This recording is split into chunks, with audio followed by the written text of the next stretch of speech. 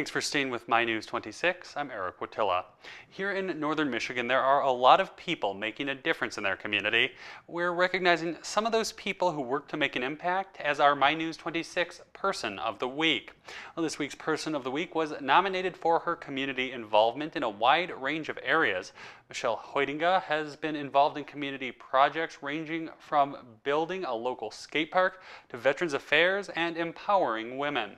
Hoitenga was nominated for being being a strong supporter of women's rights, she's had a focus on helping women defend themselves and even started up a program called Women on Target.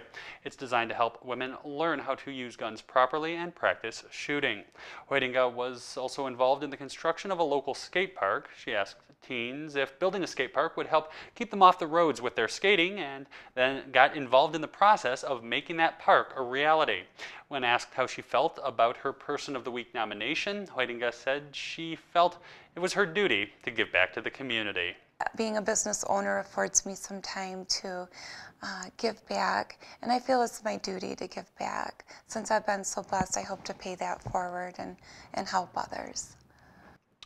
For all her community involvement, Michelle Hoitenga has been named this week's Person of the Week. Now, if you'd like to nominate somebody to be next week's Person of the Week, send an email to news at minews26.com. Tell us who you'd like to nominate to be Person of the Week, why you think they should receive the title, and let us know how to get in touch with them.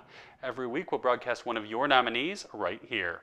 More local news is up next. You're watching Michigan's only 24 7 local news channel.